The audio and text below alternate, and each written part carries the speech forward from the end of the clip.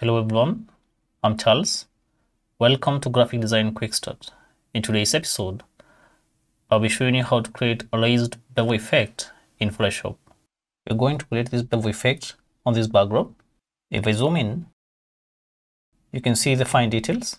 The background remains flat on the wood texture and laces when it meets the bevel. Let me show you how this is done. Let us switch to a starting composition. As you can recall, this is a composition in progress from our previous videos. Let's go to the layers panel. Click on the big white text to make it active. Change its fill to zero. Go to the bottom of the layers panel. Click on effects. Bevel and emboss. Change the size to 25. Give it an angle of 15. Leave the highlight blend mode at screen. Click on the color swatch. Give it a hue of 35, saturation of 15, and brightness of 80.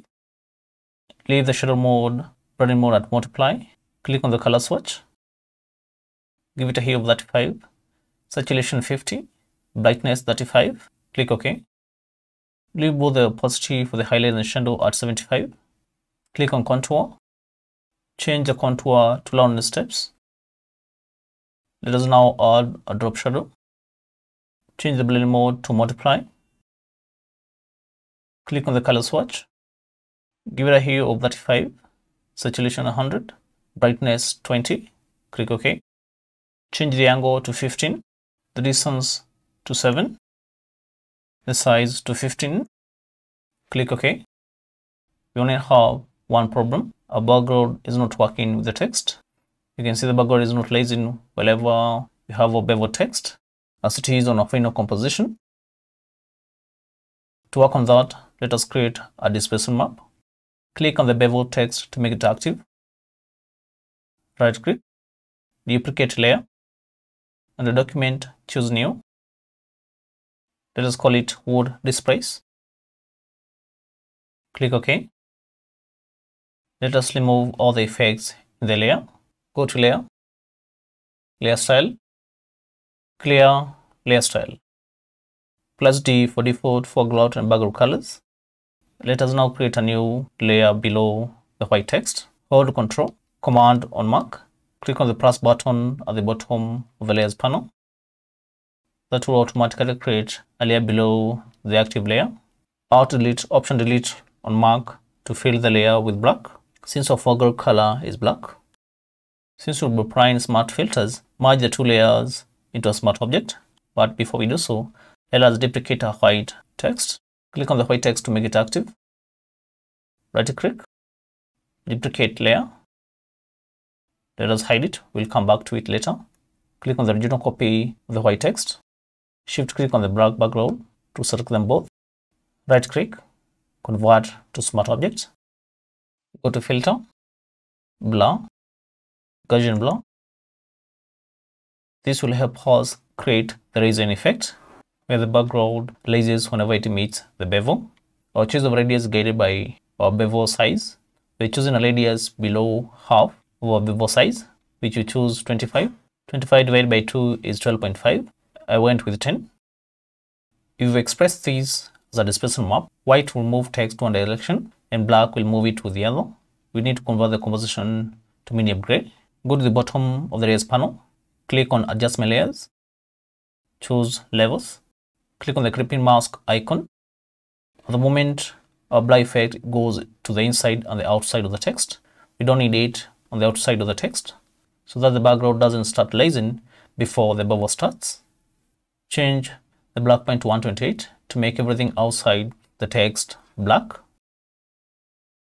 Change the output level to 128 to make the whole composition to medium gray. With this effect, our background remains laced. We check on our final composition, that effect laces the wood background whenever it meets the bevel. Let us now create another effect that will lower the background after it leaves the bevel. Click on a duplicate white text to make it active. Click on the eye icon to show it. Let us change its color to medium gray.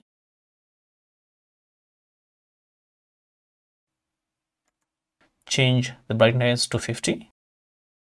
Alt delete, Command delete to fill it with medium gray. Go to the bottom of the layers panel. click on Effects, Inner Glow, change the opacity to 100%, click on the color swatch, make sure it's white, change the size rendering above our bevel effect, which was 25, let's choose 28, raise the choke to 70, go to the blending options, change the blend mode to multiply, also make sure you check blend interior effects as a group. Click OK. Change its opacity to 75. This will make sure the effect doesn't lap around the text all the way. In our previous videos, we expressed displacement maps as flat images, but in our case, there are so many layers involved. To ensure compatibility, go to Edit, Preference, File Handling, under maximize PSD and PSB files compatibility, change it to ask. Click OK. Go to File, Save as.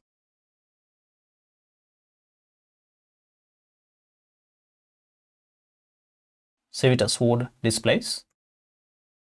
Click on Save. Make sure maximize compatibility is checked. Click OK. Now let us go back to our composition in progress. Click on the background layer to make it active. Go to Filter, Distort, Displace.